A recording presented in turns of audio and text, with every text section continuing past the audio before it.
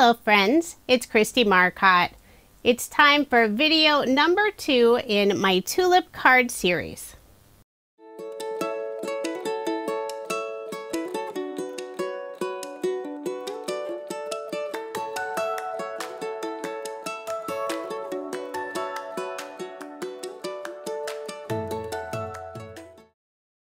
In today's video, I'll be using Paper Rose Studios Tulip Border Number 2 die.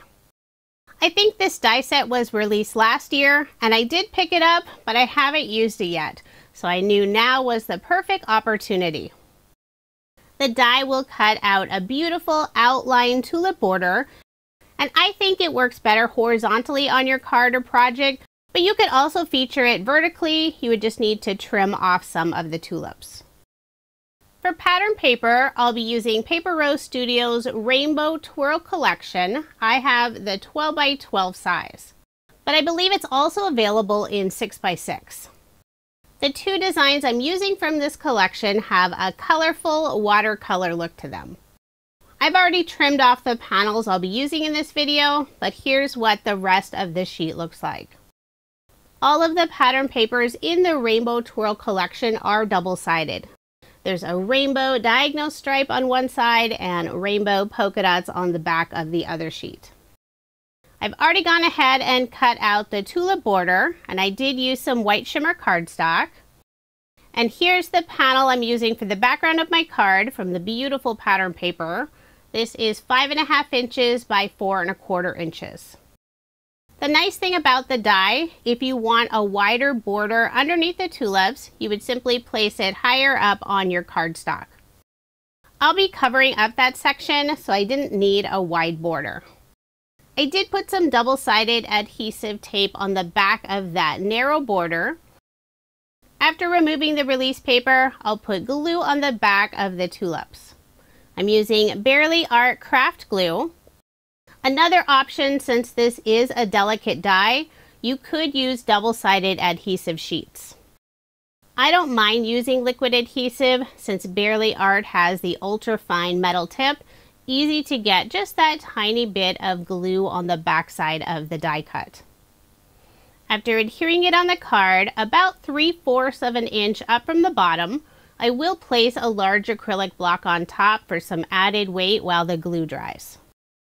And I didn't get that white border perfectly straight, but that's okay because I will be covering it up. Once the glue is dry, I notice part of that white border going off the edge of the panel. I'll simply flip it over, use my scissors, and trim it off. Next, I'll add a narrow strip of pink and white pattern paper, and this is actually the back side of the bottom of the 12 by 12 paper. It has the brand and also the name of the collection. I like that Paper Rose adds a pattern on the opposite side. That way you can use the entire piece of pattern paper. On the back side, I'm adding a narrow strip of white cardstock, leaving just a little gap at the very top. Now I'll put some double-sided adhesive tape on the back, remove the release paper, and add the pink and white strip at the bottom of the card. You can see now I'm covering up that narrow white border. And I did have a tiny bit of the pink and white paper hanging off the end. I simply flipped over the panel, used my scissors to trim it off. Now I'll flip over this panel, put ATG tape on the back, and add my card front onto a card base. For a little extra detail, I'll be adding a white splatter all over the background. I'm using Spellbinders Splatter White Opaque Watercolor. The mix is super concentrated, so you only need a tiny bit. I'll dip my paintbrush in there, put a little bit on an acrylic block, spritz it with some water, mix it up, then I'll gently tap my paintbrush over my card. I've tried several different white watercolor mixes, and sometimes that white just disappears once it's dry, but that doesn't happen with Spellbinder's Splatter White Watercolor. And this is an easy technique to add fun detail to your card or project. I did set aside my card so it would dry completely. Sometimes I get a little impatient and I don't let the paint dry completely, but I was good this time. For a sentiment, I'm using Paper Rose's black and white sentiment sheets.